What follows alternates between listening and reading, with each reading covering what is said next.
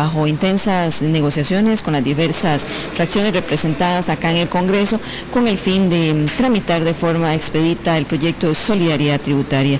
Don Luis, muy buenas tardes. Gracias por estar con nosotros. Tarde, noche ya. Nos coge la noche aquí, don Luis, desde las 9 de la mañana, ¿verdad? Nos atrapa la noche. Efectivamente, estamos terminando tarde. Sí, cuéntenos, ¿cómo avanzan el día de hoy las negociaciones? Vamos a ver, ahora estuvimos en un impasse donde nos estuvimos reuniendo con la gente de los grupos de oposición al proyecto Plan Fiscal y tratamos de, llegar a algunas conclusiones.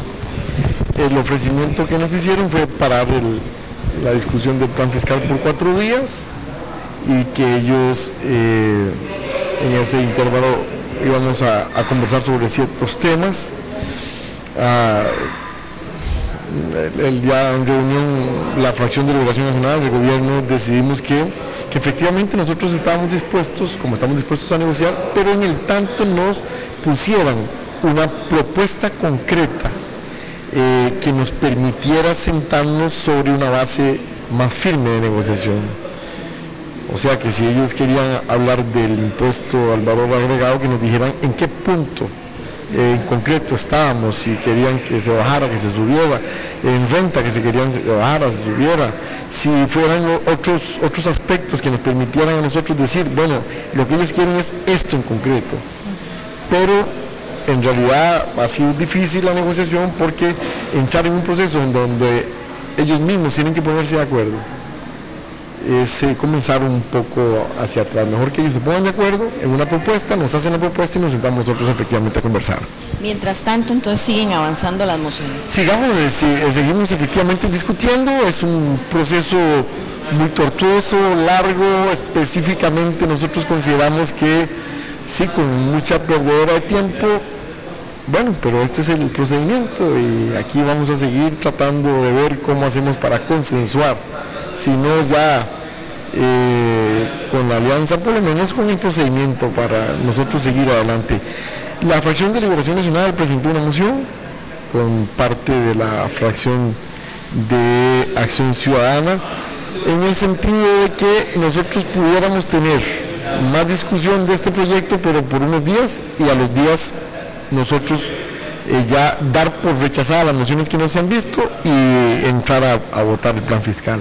Si paran el plan fiscal cuatro días, sería sacarlo de la propuesta del Poder Ejecutivo y avanzar en otros temas. ¿Y esos cuatro días se negocia o, ustedes en esos días más bien la propuesta de ellos antes de esos cuatro días? En esos días negociar. Lo que nosotros eh, no quisiéramos es que esta negociación más bien al final lo que nos vaya a hacer es hacer más obstáculos al, plan fiscal. ¿Por qué? Porque podrían más bien estar resaltando las, eh, las contradicciones que hay entre los mismos grupos de la alianza y desde luego entrar el gobierno en una dinámica en donde más bien hay más confusión que concertación.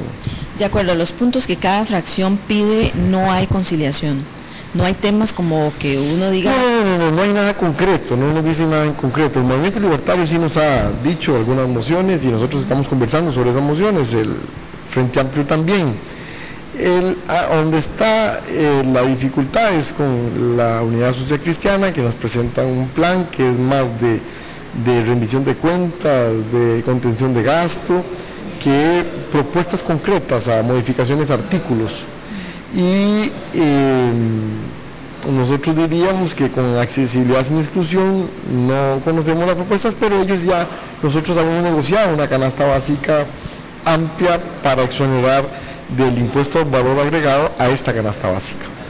Don Luis, a cambio de mm, incluirle a ellos tal vez algunas de las propuestas, ¿en qué cederían ustedes, aparte de los cuatro días? Nosotros cederíamos en los puntos que consideramos que pueda beneficiar si fuera valor agregado, ellos decían, bueno, no tocar algunos, algunas, eh, algunos artículos, incluso ponerle más a otros artículos que son suntuosos, que van directamente al consumo de la gente que tiene más, más, poder adquisitivo. Y en renta también una posición más o menos similar. Y esas son las posiciones que nosotros entraríamos a conversar. Lo que sí dijimos que no entraríamos a conversar son ya los acuerdos que tenemos con Acción Ciudadana, con sectores diferentes, movimiento cooperativo, agricultores, eh, sistema bancario, entre otros. Eh, y además no podríamos entrar a, negociar todo lo que se ha dicho sobre canasta básica que es lo negociado con los otros grupos de oposición. ¿Y zonas francas, don Luis? También eso está en el convenio con Acción Ciudadana, nosotros no podríamos movernos si la Acción Ciudadana no se mueve. A cambio, ¿ellos qué harían? ¿Quitarían mociones para agilizar? Bueno, la idea es que ellos quiten mociones y nos dejen que fluya el procedimiento y la votación de tal manera que no se lleve aquí los tres años que nos hace falta discutiendo el plan fiscal.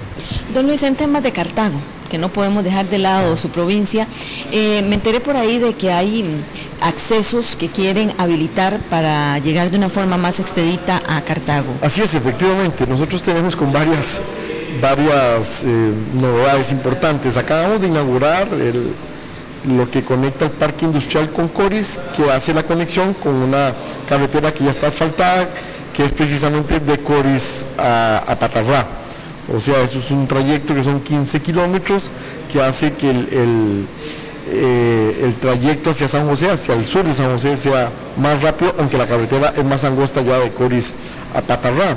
También estamos con el tren, el tren ya, ya llegó a Tres Ríos, estamos para ver si el 14 de septiembre nosotros podríamos inaugurar esta ruta, porque el tren, quiera o no, es como una nueva carretera que nos podría permitir también tener mayor acceso, ojalá con mayor rapidez hacia la capital y viceversa. Y también tenemos eh, proyectado ya el Ministerio de Obras Públicas y Transportes adjudicó una licitación eh, que es precisamente el, arreglo de la vía que va de, de Potrero Cerrado a Llano Grande, Llano Grande a Tierra Blanca, y nosotros quisiéramos conectarlo al, volcán Irazú.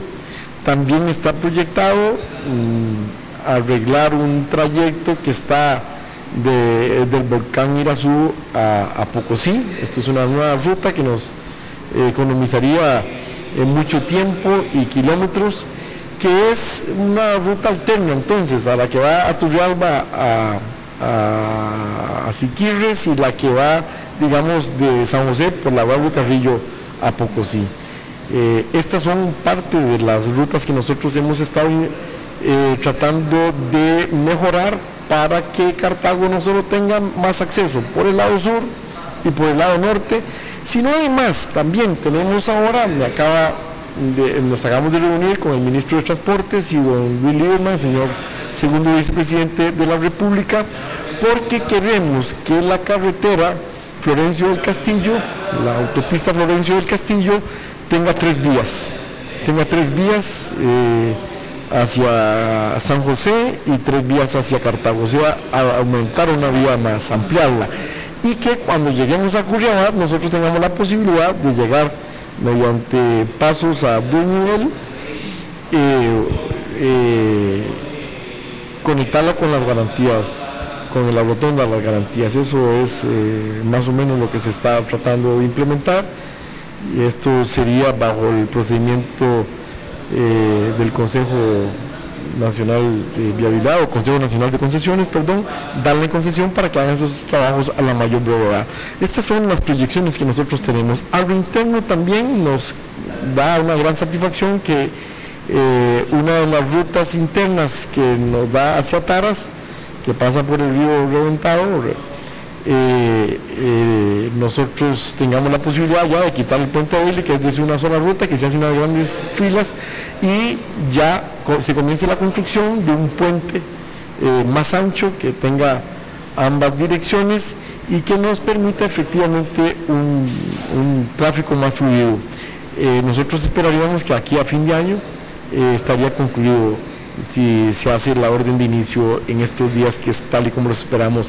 Tenemos una, una gira en, en, Cartago con el Ministerio, con el señor ministro Francisco Jiménez de Obras Públicas y Transportes, precisamente para repasar estos temas y para ver los adelantos que tenemos. Creo que hay muchas, hay muchas, eh, muchos proyectos que nosotros tenemos precisamente en, en Cartago sobre todo lo que es de vialidad, tal y como usted me lo dice. Si ya nosotros tuviéramos estas tres rutas a San José, además del ferrocarril, imagínense que eh, tendríamos más desabajo y mayor desarrollo en las diferentes zonas. Hay una zona turística que podría desarrollarse precisamente con esta carretera por la zona norte y es todo lo que conecta también con el volcán Turrialba. Ahí hay una serie de restaurantes, infraestructura turística que nos va a permitir tener mayor turismo del que hay actualmente y desde luego habilitar hacia el volcán Irazú y esto hacia poco sí, porque las bellezas naturales que tiene la zona norte de Cartago son dignas de que cada vez se promueva más el turismo nacional y extranjero. Y por el lado sur, lo que representa Coris es dar un, impulso al Parque Industrial de Cartago, que tiene zona franca también, y que creemos que ha estado un poco deprimido en los últimos años, precisamente viendo con gran expectación lo que está sucediendo en los otros parques de Barrial y el Coyol, etcétera, donde hay un gran impulso, nosotros sentimos que nosotros nos hemos quedado rezagados. Esta nueva carretera le puede dar eh, mayor impulso y desde luego eh, los dueños del Parque Industrial de Cartago también están decididos a hacer una inversión para tratar de mejorar las instalaciones y la infraestructura y atraer mayores empresas eh, a Cartago. Hay una preocupación de los últimos cierres de ciertas empresas donde se ha perdido cantidad importante de empleos. Don Luis, en el campo de la salud, de educación y seguridad, ¿cómo avanza la provincia de Cartago? Bueno, vamos a ver, en lo que es salud, nosotros eh, hicimos la visita con la presidenta de los terrenos que ya adjudicó la Caja Costarricense del Seguro Social, donde va a ser el futuro hospital, precisamente por la zona de Coris. Eh, esto es una, una zona sabana grande, eh, precisamente donde está ahora la revisión técnica, donde está Riteve, que es en la intersección que va hacia el Guarco, en la carretera interamericana. Nosotros creemos que esto son 11, 11 hectáreas, son 110 mil metros que nos va a permitir tener instalaciones y una infraestructura eh, totalmente amplia sin ahogarla y que además tiene vías y rutas de acceso a los diferentes lados de la zona de Cartago para que se pueda desarrollar efectivamente instalaciones hospitalarias eh, de, primer orden. Eh, educación, muy importante la educación, nosotros tenemos el proyecto de transformar el Colegio Universitario de Cartago en universidad, esto es importantísimo, tenemos también la posibilidad de estar nosotros también mejorando las instalaciones en diferentes centros y desde luego hay un proyecto que creo que está en el presupuesto, así me lo ha dicho eh, la señora viceministra, doña Silvia Víquez y el señor oficial mayor del Ministerio de Educación, don Víctor Hugo que es precisamente mejorar el Colegio San Luis Gonzaga, es un edificio declarado eh, patrimonio histórico, eh, es una inversión de más de 100 millones de colones que esperamos que este año nosotros podamos completarla. Eh, esto, además de una serie también de, posibilidades de mejorar también eh, la atención en lo que es la, educación. En la red de CUB, nosotros hemos inaugurado, inaugurado no solo centros de, niños, sino también de la tercera edad.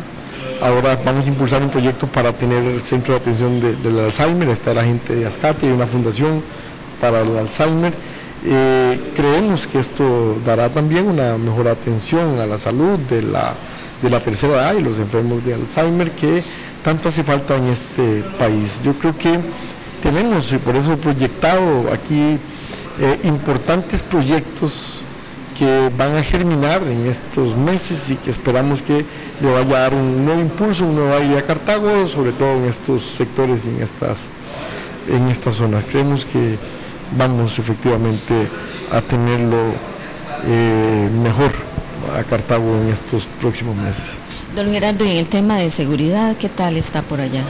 Bueno, tenemos ahora la inauguración de la comandancia, el primer viernes de marzo, posiblemente vamos a, inaugurar la, comandancia de Cartago, la nueva comandancia. Usted sabe que la antigua comandancia fue ahora eh, hecha museo, es el Museo de Cartago. Entonces nos habíamos quedado sin una verdadera comandancia, se va a inaugurar esta comandancia y esperamos nosotros también recibir en esa oportunidad creo que 140 patrullas, así me lo ha dicho el señor ministro de Seguridad Pública, don Mario Zamora. O sea, ya hemos aumentado en los días anteriores eh, la presencia policial con, con mayor eh, personal ahí y desde luego ahora equipándolo cada vez en mejores condiciones. Creo que, que vamos bien y creo que Cartago va a tener efectivamente la posibilidad de tener eh, la presencia de mayor seguridad y elementos policiales bien equipados para luchar contra la delincuencia. Bien, muchísimas gracias, don Luis Gerardo, por esta rendición de cuentas de su provincia y de los temas nacionales.